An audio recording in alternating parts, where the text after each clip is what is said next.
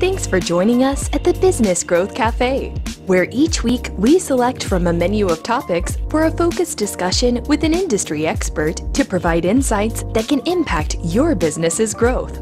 With your host, Angelo Ponzi.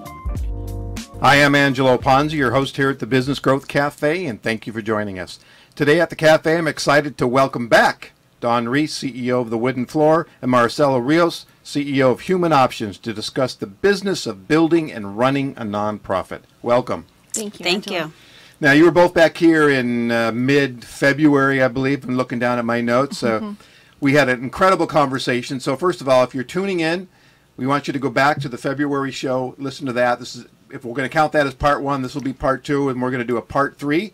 So, this is going to be very exciting. You're going to get lots of information and learn how to have a successful nonprofit. I'm making that promise. We're going to deliver today, okay? Yes, we will. All right. So before we get started, though, let's for those newcomers, let's put it in perspective and let's give me a little overview of who you are and uh, what your nonprofit is about. And Dawn, I'll go with you first. Okay, great. Thank you, Angelo.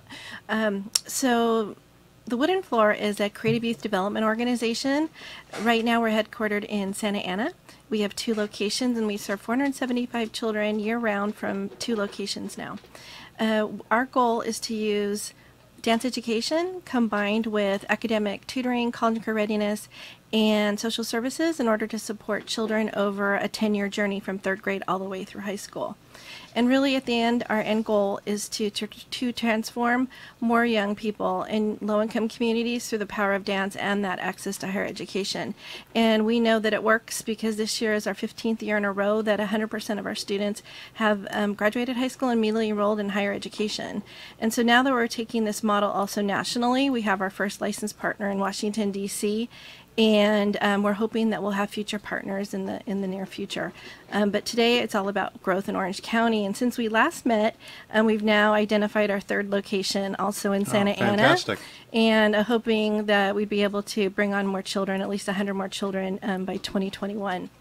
Uh, sec- and so about myself is I started uh, in the for-profit sector in management consulting in the high technology uh, sector, um, working with software companies and helping them develop strategy, um, HR services, finance services, and business development. And I was very fortunate that my first um, boss um, and mentor um, really encouraged me to give back into the community. So I also worked in um, some boards when I was only in my 20s in arts, education, and um, human services boards. And so fast forward um, today, I'm at the wooden floor and I'm in arts, education, and human services. And our goal today is really to move young people forward. Uh, fantastic. And I was just going to add that I'm also now also on the board of OneOC, Oh, and okay. I'm also the chair of the Nonprofit Advisory Council, and I'm also on the board of Orange County Music and Dance, and then I've just joined the Santa Ana Chamber as well. and you sleep when? wow. I thought I was busy. Yeah, I- I- but it's it's all in part of you know um, uh, kind of tying to some questions we're going to talk about later about how we really build the brand of the wooden floor in the community, and the number one way we do it is through our own leadership footprint. Okay, fantastic. Maricela? Sure. Human Options ignites social change by educating Orange County to recognize relationship violence as something that threatens everybody. Um, we advocate for those that are affected by abuse and extend a safe place for victims while empowering survivors um, on their path of healing. And so we actually run a, a sort of full comprehensive array of services. We prevent violence and relationship violence through education in the schools by making sure that there is someone as a first responder to recognize relationship violence early on and to intervene and get that person on a path to healing. We also do much more um, protection, which is more in our residential settings where we are doing emergency shelter, transitional housing, and really invested in ending homelessness for victims of domestic violence. We also empower, and a lot of that is done through educational components, making sure that um, women and children and men that are being affected by relationship violence know um, their rights, know the access of um, how they can access the legal system to get protections that they might need, how to um, access different types of services, and then really empower them to go out and live their full potential in the community. Um, we have been in Orange County for over 38 years, which is extremely exciting, and are currently launching and hoping to impact networks in addition to communities. And that is done through partnerships. Um, we've been educating healthcare practitioners over the years to recognize relationship violence. We've been um, educating beauticians as well, and beauticians have okay. been extremely helpful. So really reaching out into the community itself and helping raise awareness for people to pay attention to what's going on. Absolutely, and it's it's really something where we've noted that um, somebody has told their story multiple times and never really gotten um, the response or the assistance that they've needed. And what that does is that essentially feeds into somebody's what they've been hearing from their abuser years for years, right? Nobody's going to care, nobody's ever going to help you. And so what we do is try and break that by helping, making sure that when somebody's sharing their story, that they know that they're being listened to, that it's not okay, and they get connected to assistance. Okay. I think you used the phrase before prevention and intervention is kind of the two two lanes you take. So, but you didn't mention about yourself. Mm-hmm. Yes. So, you're the CEO. Let's talk about that. Let's talk about your rise, the Um, emerging my of you guys. we talked in the hallway. Um, sure. I am. I uh, for the last three years, I've been the CEO at Human Options, and prior to that, I was the COO at Human Options, and I'd been there for ten years, and I worked alongside our founding executive director for that time, and really helped get us on a path to expanding our footprint in Orange County. Um, on that journey, I was um, on the board of directors for the California Partnership to End Domestic Violence, and eventually became their board president, where I really got a big feel for what was happening on the on the statewide landscape and the national landscape in our field. Um, I am currently on the Family Violence Appellate Project Board of Directors as well as the Continuum of Care Governing Board. Um, and then I sit on a task force at OneOC, which is on board diversity. Yeah, We both do. And so you're also very busy. Um, uh, you know, Make time for you. yeah, well, I appreciate that. It's, uh, you know, I, I, I had to say it was Friday afternoon and there were drinks. I just didn't tell you it was water and coffee. I know, darn it. So I, I'm going to start off with you, Maricela. And, and you guys have very successful and some longevity. You said 38 years, Dawn. You said 36. 36 years. I mean, that's that's longer than a lot of businesses manage to survive. And you guys have been part of that and growing that and really brought a lot of sophistication to it. We're going to talk about a lot of that.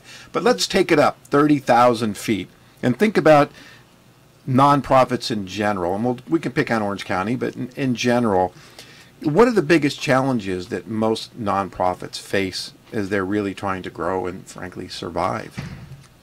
Yeah, you know, I, when I was thinking about that question, I was thinking there's there's two things. One is as a nonprofit sector, our work is really intended to change the community and to change the landscape in Orange County, and you don't do that alone. And so, as a nonprofit, you're expected to, and you should, work with other nonprofits. And so, we've actually kind of coined it as cooperation, right? So, Okay. it's really hard to both cooperate with another nonprofit and still be like, well, I and brag about yourself at the same time. It, they almost there's some tension between bragging about yourself as a we're a great brand, we've got a solid program, we've got solid outcomes, and still feeling like you can partner with others who are doing like work. Um, and so, as I think that is one of the things is really learning how to uniquely sell yourself, uniquely position yourself, and talk about the great work that you do in service of others, while being cooperative and knowing that we share space and there's intersectionality between a lot of our work, and that really you can't negate the work of another organization in order to lift yourself up. So that, that that's one thing that came to mind for me as something that Okay. keeps people from growing and thriving because you're not pushing your brand out enough if you feel like well, I can't really brag about myself because that's not really what nonprofits do. So I think you have to get comfortable with bragging about the good work because you're doing it in service of someone. And the other thing that came up to mind for me is that in the nonprofit sector is we are reacting to things, we're responding to needs, and so that really sometimes takes away from the idea of really innovating and creating space to create to innovate. And innovate could be, you know, you're, you're maybe I think in some ways um, caught up by certain funding streams. We can only do this, or they expect us to do it this way.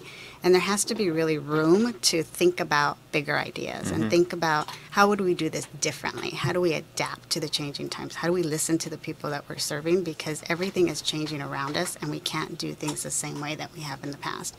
And without really spending time reflection, reflecting and creating that um, culture of learning within the organization. So, knowing that people coming in may see it a different way and actually asking and expecting, tell me how else we could be doing this, right? And then accepting that feedback and integrating it. um, we get stuck in the way that we've always done it, which is which essentially then you're not growing if you're not learning from others. Right. We, we talk a lot of times about working on your business versus in your business, Mm-hmm. and I think that's very reflective of what you said. If we get so wrapped up in that day to day and the nuances and chasing, you know, those crises and activities that keep popping up, we don't spend time to really work on it. Um, I, I did some uh, survey work here in Orange County with some CEOs, and one of the questions we ask is, you know, how much time do you spend working on your business every month? And it really broke down to about an average of one hour a day. For me, I don't know, that doesn't seem like a whole lot of time to really be effective, especially when uh, the other statistic that I quote is 90% of executives say that it's not the planning, it's the implementation that their strategic plans fail. Right. So really, it's it's what you said is really important that these nonprofits spend the time and not get caught up in the nuances every day, but really to step back and look. I, I somebody told me one time is, you know, we talked about you know getting outside the box. He says you need to get outside the box, walk around the box, and you know take it, you know, get the heck away. I had a friend that said one time, "I wish I was in the box." Like she's always outside the box. I just clo- just close the lid for a little while so I can She hang said, out in the box. Well, I wish I could. You know, in the nonprofit sector, I think that's what it is. We're always, you know, driving if you're dri- a driver. Sure. You know. Sure. Well, think- let's talk about 30,000 feet for you. I think I'm listening. I would agree with everything what um, Maricela said. I think for myself is that I look at nonprofits in different um, spectrums. So I think there's the emerging nonprofit. There's the um, the more established nonprofit, um, medium size, you know, or small to medium size, and then there's um, those who have had longer term longevity. And even in longer term longevity doesn't mean they're always thriving and surviving. You know, they're they could be in those modes too. And so I think the the main kind of through line through that is that you have to have a strategic long-term vision for your work and what your impact of your work's going to do. And even if you're a small nonprofit and you're just kind of getting your um, feet on the ground you still have to have a bold vision for what you want to accomplish with whatever that is for yourself. Um, i have, was just talking about um, a good friend that runs a, a nonprofit that is um, emerging and but she has a bold vision. She's already on the national level and but her budget's fairly nominal and but she's making it happen. And then there's other that are sometimes larger and lumbering you know that they're not learners and act and innovators. And so when i kind of look at this it's like some nonprofits sometimes will kind of act small with a scarcity mindset. And I, no matter where you are in that spectrum, you have to have a big, bold vision for what you want to accomplish. Because I believe that will then set other people around you to be super excited. So if um, the wooden floor was doing what it did 36 years ago, it was fantastic. And now we're doing all these great things today and if we weren't continually innovating and, and reviewing and making sure that we're staying relevant to the community need um, we would also find that same kind of life cycle that businesses go through Sure, sure. If you think about, in, in talking about the, the vision and having that vision, where, where smaller nonprofits really struggle and fail. I mean, is that is that it? They just they have an idea, they have a, a mission, they start it, but they're not real leaders. They're not business people. They, you know, they just think that that you know build it and they will come, so to speak, Yeah. right? So what's that mentality that gets somebody going and then just never really takes off because they just don't have those skills? You know, I, it's it's interesting because I, I agree with what you're saying, Dawn, in terms of the vision, and, and I think that that the, if you really pause and think about vision, that that's generally um, if you stop if you focus too much on mission and tactics, and you you lose sight of vision, right? And so, but if you're really holding that vision, it moves a little bit quicker. What I think happens in smaller nonprofits um, and and medium-sized nonprofits quite often, as well, is that when you get so tied down to like what's happening right in front of you in that moment and the and the day-to-day um, challenges and and in, in smaller nonprofits you've got one person doing four people's jobs right? And so when you're doing that i mean you, you know we joked about like whether dawn sleeps or not and i'm sure she does maybe five minutes a night. But i think um, but when you're so focused on on um, the day-to-day minutia it's really hard to remember what you set out to do right? I, I, um, I heard a, a analogy one time it's like when you when you're knee knee deep in alligators, it's hard to remember that your objective was to drain the swamp, right? I mean, Yeah. that's that. I think that's that's kind of it. Is that when you're when you're smaller, you take on so much, you do things all the time, and so Um, but vision, if you hold vision and you're really looking at that, then you're making strategic decisions about how you invest your time and energy. And that's one of the things that even at our size is we, we struggle, right? Periodic, periodically, we're not making strategic decisions about the investment in time and energy and resources but we've, we're getting better at it. We're practicing. Yes. How do we make decisions about whether this is something that actually will help advance our mission and our vision?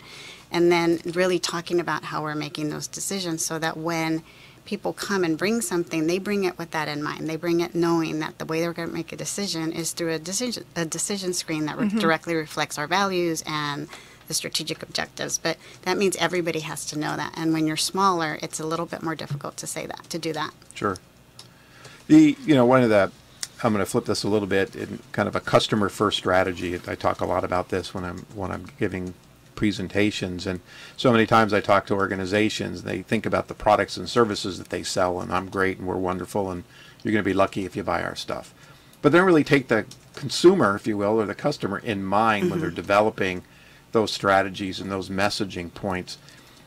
When when you guys are talking to and doing making those decisions you were just talking about i mean do you have your your target your customer it's not the right word but you know your recipient in mind when you make these strategic decisions? Or is it really backing off and thinking about the organization versus if i make this decision this is going to how it impact Yeah, uh, for for us, for human options, we we most definitely do. What we do is we at the end of every service delivery. So if they are in our residential program or another service, we survey them and, and try and get a sense of was this effective? Did this work?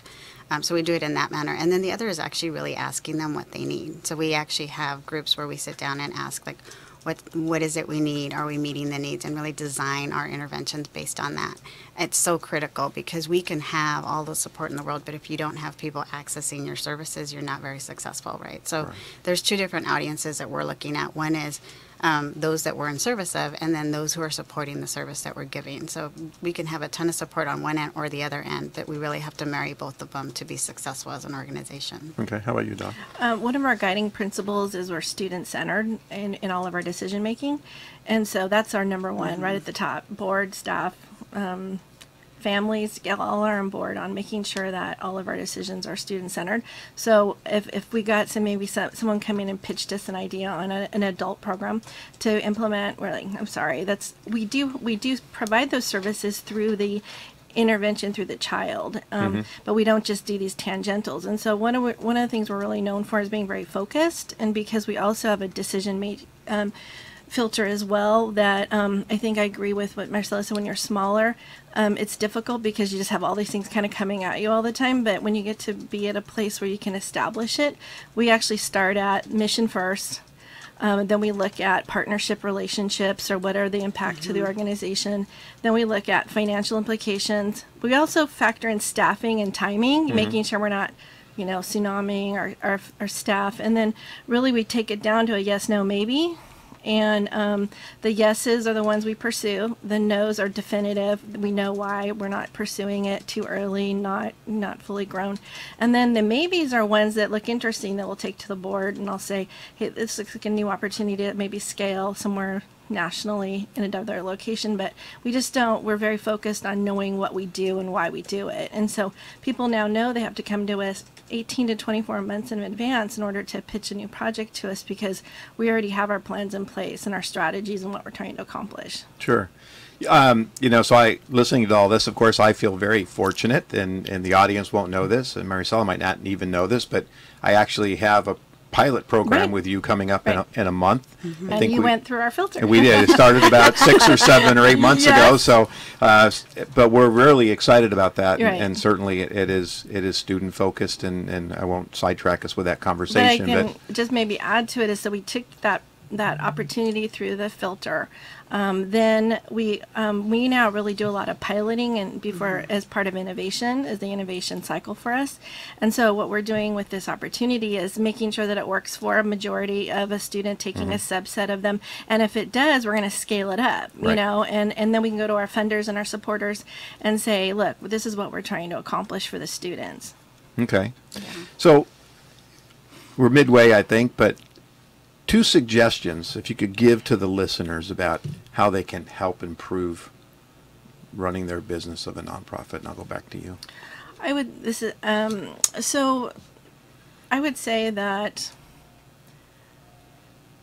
you have to focus on yourself as a nonprofit leader. I would say that's the number one thing. I know that sounds probably contrary to what you would expect me to say, but if you're not fulfilling your gas tank about it, the nonprofit sector is is very challenging, like all business. But um, because we also have an emotional connection to our families, mm-hmm. we have a, we put a lot of output in order to make sure more people know about what we're doing in the community. Um, you have to invest in yourself through leadership development, reading, um, really focusing on making sure that you're always thinking ahead of where the the ball's going so you can make sure that you can make sure there's no landmines or anything sure. that you're about to hit. And um, like Maricela said too earlier is that you're you can be very easy to get stuck in the weeds. And as a leader of a nonprofit the number one thing you can do is just invest in yourself as a learner and a listener and just continue to probe and ask the right questions. Um, from the business context of a nonprofit is that really you have to get your house in order financially. Um, I was a CFO before a CEO and so I see both sides of the equation. I unfortunately had to take a nonprofit into bankruptcy a few years mm. ago, and um, that's not a pretty uh, opportunity. Um, I was the last person kept on from the board, and um, and what it really taught me was that you have to put in really strong, um, not not um, uh, we call them pillars of um, financial um, strength, mm-hmm. and it's around your annual fund, your budgeting, mm-hmm. your um, planned giving, and your endowment. And if you look at your diversification of revenue, even from day one of saying, just like we do with kids or ourselves, make sure you're saving for tomorrow, starting your rainy day fund, starting a reserve, operating reserve. Um, today, Weingart Foundation is a foundation up in LA, and even after this post recession, they've been encouraging and even giving grant dollars to help nonprofits um, form reserves. And most nonprofits today don't have reserves over two to three months. But if you start with that as your as your very beginning of your nonprofit, all the way to the larger nonprofits, make sure because you want to be there for your clients. You want to be there for who you're serving because they are in so much dire situation that if you start to stumble, they'll really feel it yeah, more than you. And so you have to have that um, mindset around financial sustainability. Well, that's a, that's great advice. I mean, so many times we I did a show at talking to a CFO, and my premise was that most small businesses, and I'll include nonprofits, don't really understand their financials and how to read mm-hmm. them, and really how to plan and budget and do that allocation. And I think that's great you know, like we deal with our families, right? You want to save six months or whatever it happens right. to be because if something were to happen, yeah. you want to have those reserves. How about you? Yeah, I mean, what I'd add to that is you also, I mean, you have to know the cost of business, right? You have to know the cost of running your nonprofit in order to know how much revenue is going to be generated to, to fulfill your mission. So, I mean, I, I think that's really important. The other things that come to mind, and, and we talked about this a little bit before we went on air, is culture and really thinking about the culture within the organization because mm-hmm. ultimately culture eats strategy for breakfast, right? So if you don't have a good culture and a strong a strong culture that's helping drive your strategy, then that culture is derailing your strategy, and that takes a lot more time to to fix. So you really have to focus on the type of culture and values that you want to have in an organization and spend time doing that. Um, and then the other thing that that I, Dawn and I had an opportunity to talk about recently was really thinking about you have to have that big vision, that big bold vision that, that we mentioned earlier, and then also op- operate small. So you can't really be yep. like, oh, I'm this big organization. You still have to act like a small business mm-hmm. and really mind those those the what you have in terms of resources and all of those different things before you get too big you can't scale too fast so you have to really think about you know we want we have this big audacious goal and this vision that we're going to change the world but you can't do it but you don't have to do it in this large scale all, all at once yeah and, and, it can be over time I mean right. that's a Jim Collins right the big hairy audacious goal right. yeah. isn't about having something happen in a, a year or two it's no. it's you know your ultimate goal that you'd like to achieve. And I was going to add is Mike Mussallem spoke at the grantee reception, mm-hmm. and he talked about that even as big as I, you know, Edwards Lifesciences worldwide now, twelve thousand people. I have lots of friends that work there. Is that Mike said at the at our is that they still act small, and you just you have to be humble. You have mm-hmm. to act small, um, because. Um, you know, it, it's just really important that you just don't, as my one donor that I love um, says, you, you can't get too big for your britches. That's funny. and I, ha- I have his note on my bulletin board, um, and um, and it, it's true, you know, that you just have to make sure you stay humble. Yeah, absolutely. Um, I think I got time for one more question before the part two of this or this episode ends. We talked last time about active boards and the importance of boards, but through some observations that I've, I've recently have, I can see you know some of these smaller nonprofits and all the things we've been discussing, but their boards are volunteers. And in my experience, that some of them showed, some of them didn't show, some of them didn't do what they were supposed to do. So, what's some advice you can give about managing, you know, uh, volunteer boards, or maybe they need to get away from volunteer boards and get some active and, and solid boards? Yeah. I, I, but um, in my experience is I've, I've had a pretty positive experience because I entered into it thinking it's a partnership. I'm not managing them, but I'm actually partnering with them Okay. for the benefit of the organization, and that's been really clear from the very beginning. As we we both approach it as learners, but. Uh, my board president, myself, and my chairs, uh, the chairs of my various committees, and, and myself spend time really developing a relationship because it's all about relationships and really understanding where do we want to go with the organization and what is it going to take from each one of us to do that um, because that that's what it requires we both have to be equally invested in the success of the organization Okay, Dawn. Um, I'd say the same. Also, I think, um, you know, your board members are there for um, passion and purpose, right? They're there for a reason most of the time. And so one of the things that you need to do is hone in on that individual. You can't look at the board as a, as a group. You have to still look at them as that individual board member supporter um, in order to help you um, connect with where their heart is. Um, and um, for our model as an example, um, we're arts education, health and human services, higher ed. And so our board members can, they have to obviously love and adopt the whole mission, but they can find the places that they have a passion and purpose. So maybe it's about scholarship support or it's around education, higher ed. Great, then bring all your friends to our next event we have coming up. But someone else might, love our art, um, our concert, and then bring all their friends to that. So you know what I mean? It's like we really try to hone into that individual supporter. But at the end of the day, um, I always give because I have a lot of people come to me who know my story about being in the for-profit sector before the nonprofit sector and they ask, you know, I'm looking to make this transition, and I my number one thing says, are you know, are you a consensus builder? The number one thing you need at a board level is consensus and someone that you can help share. Even though I'm the CEO of the Wooden Floor, I have a board of directors I report into. Um, for a lot of the major decisions, I still will go to them. Um, luckily, we have such a great partnership. We partner together, but um, you have to be a consensus and be okay with that. That I'm okay that if that that decision maybe isn't the right one for the organization. I'm hoping we're on it together, but I have to I have to make sure that um, that I respect that and their role as a board member. But then we also have expectations of them. Sure. Okay. Absolutely. Well, I we are out of time for this episode, so um, so uh, Dawn, why don't you tell the listeners how they can contact you and reach you? Uh, Dawn Reese um, at LinkedIn, uh, Dawn S. Reese, Twitter, Dawn S. Reese, and our website is thewoodenfloor.org. Okay, Marcel.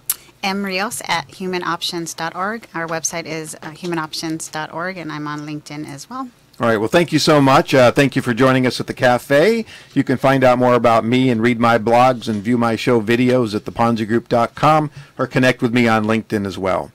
And you can subscribe to the show at thebusinessgrowthcafe.com. We're now on iTunes, Google Play, iHeartRadio, Spotify, Stitcher, SoundCloud, Spreaker, and others around the world. Join me next episode with these ladies at the Business Growth Cafe.